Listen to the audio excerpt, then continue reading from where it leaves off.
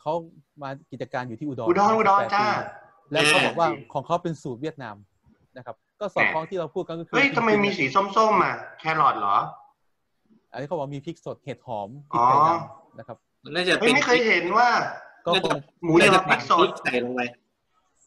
เนี่ยมามาเปิดที่อุดรและขอนแก่นนะครับ ก็จริง ๆ เราอยู่อุดรก็โชคดีนะคืออุดรเราเป็นเป็นเมืองที่รวมรวมหลายชาติด้วยกัน แล้วว่าทำอาหารจีนถูกไทยต้องลาวอีสาน แล้ว แล้วการที่เวียดนามเข้ามาผสมฝรั่งเศสเพราะเขาเอาขนมปังของฝรั่งเศสมาใช่ด้วยทำให้เกิดไข่กระทะเกิดอาหารอาหารตีสี่ครึ่งตีห้าที่อุดรกินตื่นเช้าเหมือนคนเวียดนามและคนฝรั่งเศสจริงๆนั่นอาหารเช้ากัน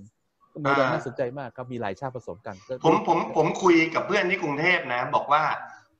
สมัยตอนเด็กเนี่ย เรากินก๋วยเตี๋ยวเนี่ย แล้วใส่ซอสพริกสีราชาเนี่ยเออไม่มีใครเก็ตนะ เฮ้ยเป็นไปได้ยังไงวะ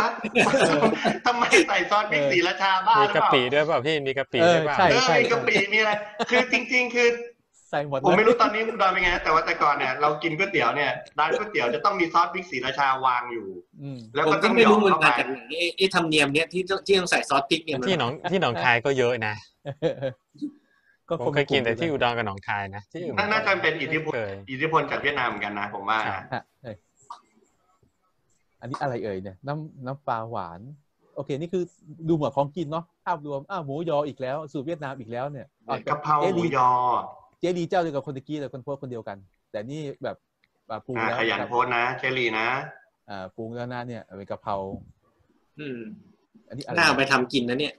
กะเพราหมูยอหมูแดดเดียวเมืองแคนอ่าเมืองแคนนี่ก็เป็นฉายาของจังหวัดขอนแก่นครับขอนแก่นอ๋อแคนเออดอกใช่แคนแคนเสียงแคนแคนเดี๋ยววันไหนอาจันโจ้ต้องโชว์เป่าแคนหน่อยเหมือนอาจันโจ้จะเป่าเป็นนะ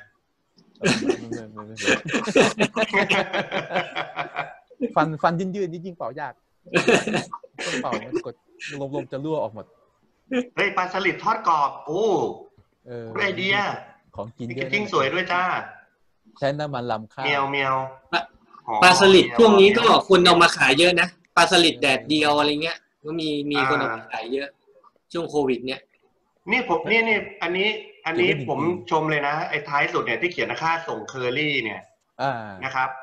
ใครเป็นพ่อค้าแม่ค้าออนไลน์เนี่ย เขียนเอาไว้อย่างเงี้ย มันทำให้คนรู้สึกว่ารู้เลยว่าเออค่าส่งจะเป็นเท่าไหร่ ผมว่า อันนี้ไม่ต้องคือลดลดขั้นตอนในการที่มาตั้งตอบคำถามเดิมๆอะใช่ใช่ อีกน้ำหนักมากคือที่เขาถามประทุกชาคนสั่งอยู่แล้วนะครับ อืม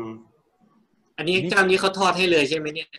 ใช่ใช่นี่ไงเขาเขาบอกว่าฉีกแล้วก็กินเลยเนี่ยเออเก็บได้หนึ่งปีไม่ต้องใส่ตู้เย็นก็ได้นะครับบอกอืม เนี่ยพอประหยัดพื้นที่ช่องฟรีซเนี่ยมาแล้วตระกูลของอีสานนะครับโอ้ยตระกูลเนื้อหมูยอตระกูลไส้กรอกไอ้ที่เนื้ออัดเนื้อบดเนื้อเนี่ยโอ้อีสานขึ้นชื่อเอาสูตรยวนสูตรลาวสูตรแหนมกระดูกอ่อน กุนเชียงนี่ก็เป็นอาหารจีนก็มาผสมกันอีกงั้นอุดรเนี่ยมีทุกอย่างเลยไอ้ตระกูลเนื้ออัดเนื้อบดเนี่ยอืมแนะนำเพื่อนๆคนที่ไม่เคยไปอุดรแนะนำเลยครับ ไปแล้วจะติดใจเรื่องของกงของกินนะฮะตีสี่ตีห้าร้านเปิดทั่วอุดร